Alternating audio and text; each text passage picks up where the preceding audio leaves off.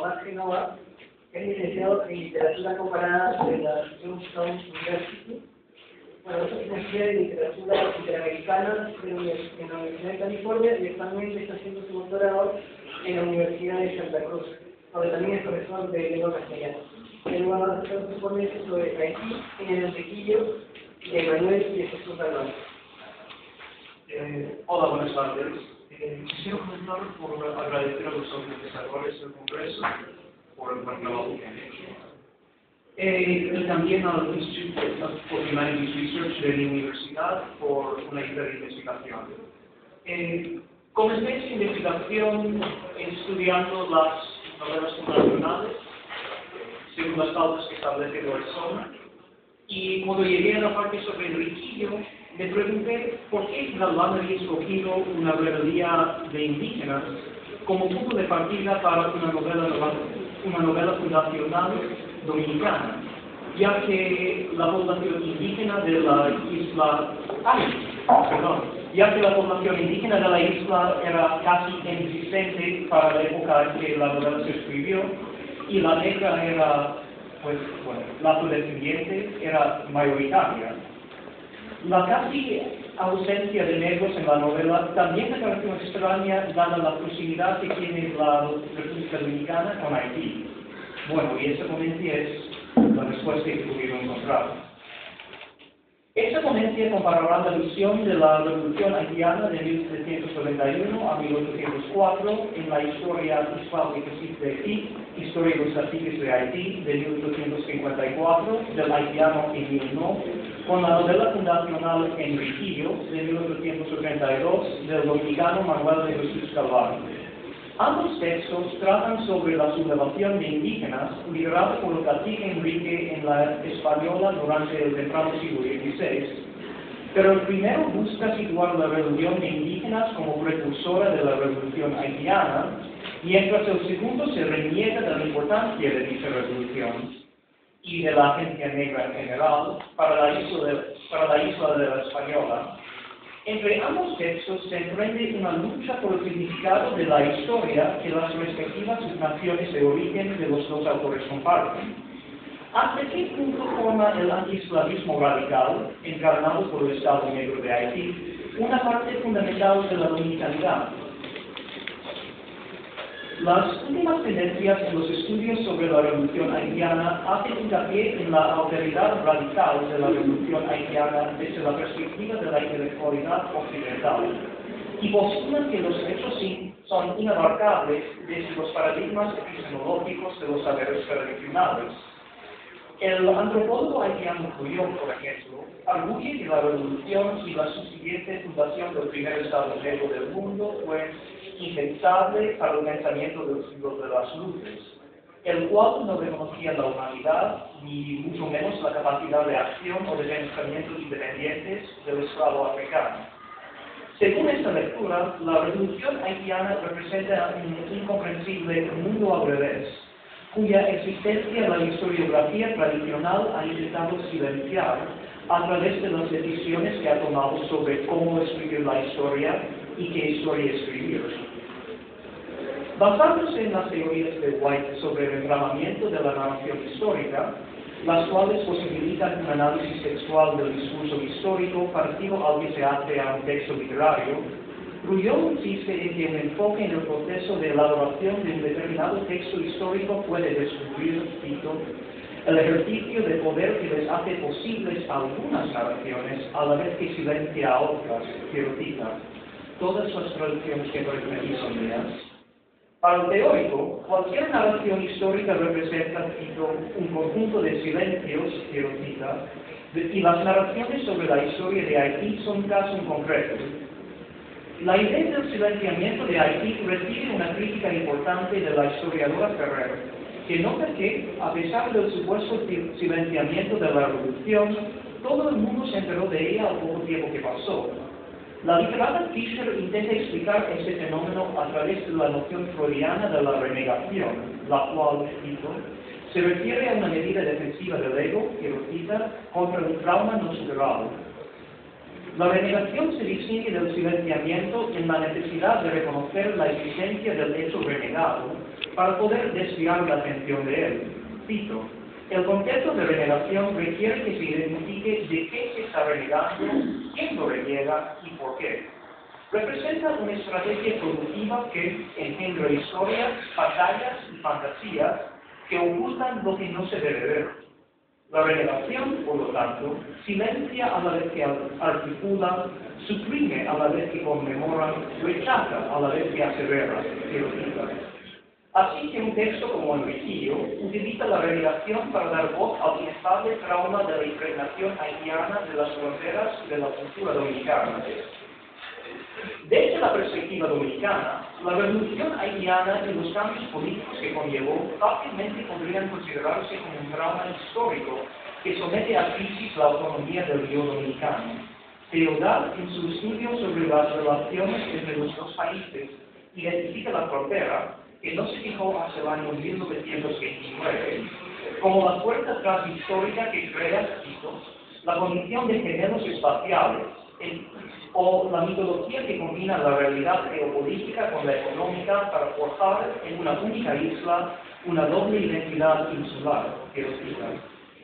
En gran parte, esta doble identidad es producida por el imperialismo de Haití, que invade la República Dominicana en 1822 en 1844, un grupo de dominicanos liderado por Juan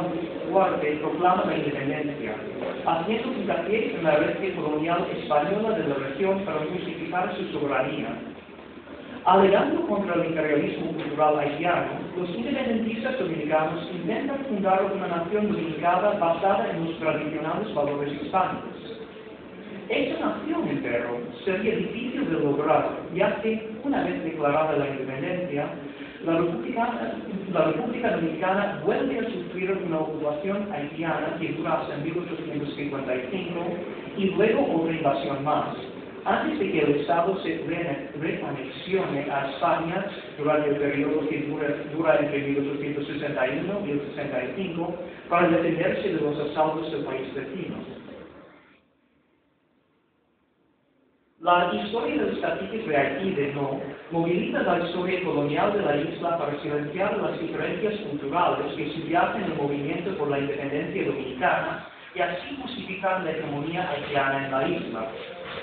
No representa a los haitianos como los antepasados de la población haitiana de su época, a la vez que pinta la rebelión de Enrique contra el repartimiento como una precursora de la revolución antiesclavista de 1791. Por ejemplo, el autor insiste en referirse al indígena sublevado como Henri, la traducción francesa de su nombre. Aunque el simple acto de traducir el nombre del cacique puede parecer inocente, hay que recordar que en la historia de Haití el Henri importante no es el Enrique de las crónicas, sino Henri Cristal, el líder negro de la revolución que posteriormente se hizo emperador del sur del país.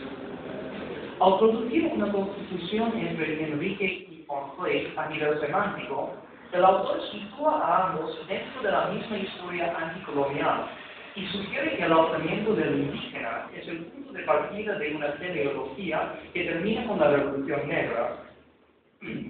La relación genealógica entre ambos levantamientos se ve al final de la obra, cuando no dice que, cito, unos años después de la muerte de, la ningún indio le sobrevivió. Ya solo serían escasos descendientes en quienes a duras penas se atisbaban algunos rasgos característicos detrás de la mezcla más confiada del africano con el europeo.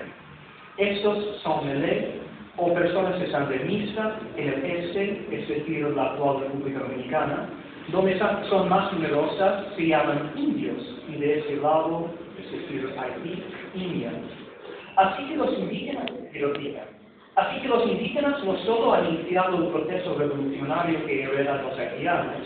sino que han dejado su huella genética en la isla, aunque ésta se ve modificada por la infusión de sangre africana y europea. De este modo, los indígenas sublevados se convierten en los verdaderos antepasados del pueblo haitiano. A la vez, la comparación que hace el autor entre el idioma en el este y en este lado